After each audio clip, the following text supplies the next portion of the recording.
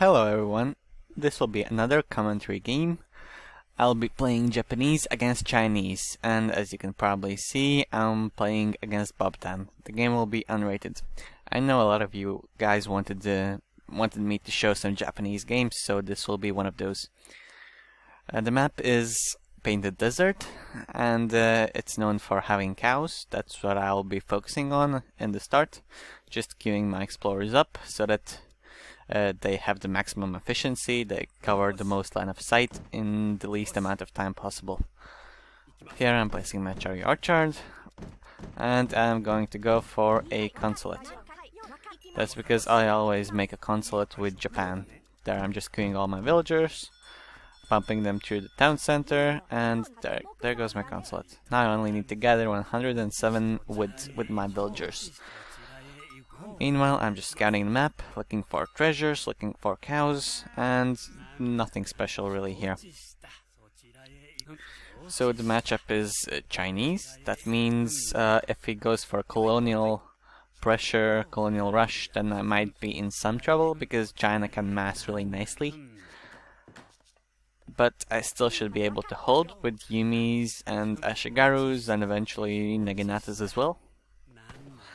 But if he goes for Fortress, then I think it's like, it's quite easy I think for Japan, because then he just gives me plenty of time to boom and follow up to Fortress. Then I can easily deal with his units with my Ashigarus, Flaming Arrows, 5 Naginata shipment, and eventually transition into Yumis as well. Yumis are just, just such a good unit. Here I am allying with the Portuguese, getting more villagers, and there I have 109 wood. That means I can place my shrine. That's what I'm going to do here. Okay. And I've only scouted four cows. I will be bringing these cows back with my explorer because I feel like his disciple could intercept my cows and steal them if I didn't. So that's why I'm walking my explorer back to my town. And I have some idle time. Okay, I queued the villager there. Pick a land deck, because this is a land map. I don't need any special cards in this matchup, I think. Just a standard deck. So my plan is going to be play as greedy as possible. But... Um, but don't die to colonial pressure. That, that just means I have to scout and see how much I can boom. Here I am uh, sending both of my explorers to this uh, really cool treasure for scout, and I'm thinking, hmm, maybe he has scouted that treasure. That's why I'm. That's why I want to kill his explorer. But then I realize his his explorer is not walking towards the treasure, so he he probably doesn't know that the treasure is there. Two scouts is just such a good treasure. I think by this time I, I actually didn't know, but he has put his explorer in uh, cover mode. That means if I'm going to shoot his explorer, it's just going to take shots that I don't want it to actually take. Alright, so nothing special, just gathering food, getting this treasure. Uh, actually, I'm gathering food quite slowly. That's probably because I put those soldiers in my town center. Would have like 50 food more, I think, by this time, maybe even 100. Nah, probably 50. Okay, there are my two scouts. Two scouts is a really cool treasure. So as you can see, his explorer is moving really slow. That means his explorer is in cover mode. Cover mode uh, is a, is a stance for melee units that allows them to take 50% more ranged damage. Now I can see that he has two settlers here. I decide to take his uh, explorer down because it it will reward me with 100 XP if I do that. So here I'm just going to dodge the melee hits from his uh, villagers because I don't want to take those with my scouts. Villagers do a good melee damage, that's why I don't want to take melee hits from his villagers. And just keep killing his explorer.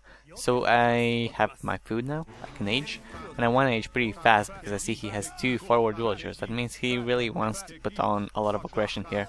He's making a villager that's, uh, not a villager, a village. It just means he will be able to send his shipments forward when the time comes. So uh, now I want to hunt down the disciple, but the disciple runs away.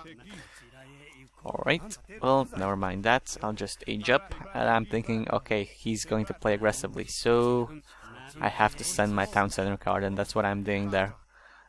I'm sending the uh, town center card for Asian civilizations. I don't recall how it's called, but for uh, European civilizations it's called colonial militia. Now I'm just building that wall, because a wall combined with town center card is just going to hold off any rush. At least that's how I feel. I should be safe behind uh, this wall and my town center. Town center fire. That means if I get this up, then I can just boom uninterruptedly. Now he's uh, annoying me. He's basically standing where the wall is supposed to be. He knows that I'm making a wall, but he didn't stand ground with his explorer. You should always stand ground with your explorer if if you're blocking a wall. That just means your explorer will not move automatically while you're not looking. So he just comes in for a raid. I react properly. I just want to save all my villagers. Uh, have only 10 of them in my town center. And gather with the rest of my villagers. So that's exactly what I do. Now I uh, aim my town center at uh, Chu Ko Nus because they can actually do range damage which kills my settlers. I don't want that, so I shoot them first. And meanwhile I'll just boom with my uh, the rest of my economy. Send wood, make villagers, just do standard stuff. GG, good game. This was a really close game. Yeah, I think I just came out ahead in this one. Since the game ended abruptly, I will fill the rest of this video with a montage of Blackbird SR-71.